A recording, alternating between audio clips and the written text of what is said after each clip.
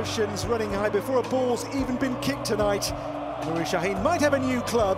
He was a Bremen player for the very first time, but that bond with yellow and black clearly remains a very special one for all parties concerned.